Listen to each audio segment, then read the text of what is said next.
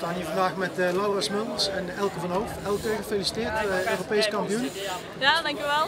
Uh, beschrijf je gevoel in de race? focus eigenlijk, gewoon zwaar rijden als ik kan.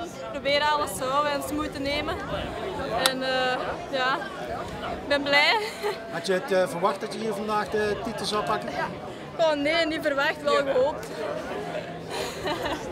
En, uh, jij we wisten dat het kon. We wisten dat het kon. ja, ik wilde gewoon lekker mijn rondjes fietsen. Vorig weekend, vorig weekend ging het heel goed. Mijn starten waren hier weer beter dan vorig weekend, dus daar was ik ook wel heel blij mee. Mijn eerste stuk in de finale was ook super goed. Maar ik kon net niet aan uh, Elke komen en ik zat iets verder aan de buitenkant.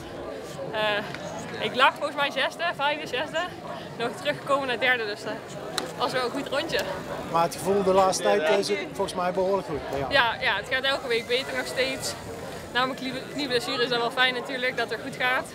Zware tijd gehad, dus uh, nou met zulke races uh, weer, weer terugkomen is wel leuk natuurlijk. Ja. En uh, sinds dit jaar zijn jullie ook teamgenoten? Ja.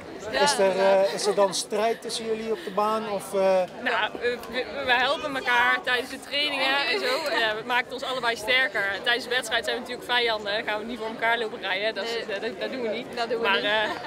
Ja, je ziet het, we kunnen allebei uh, keihard fietsen. En dat resulteert in samen op het podium. Dat is helemaal leuker met teammaatje. Ja. Dus. Op naar volgende week? Ja, uh, ook, ook twee, weken. weken. twee weken. Volgende week hoeven we nog niet te pieken. Anderhalve week. Ja. Anderhalve week, ja. ja. Nou, gefeliciteerd en Dankjewel. Uh, ik zie jullie in Dankjewel. Dankjewel.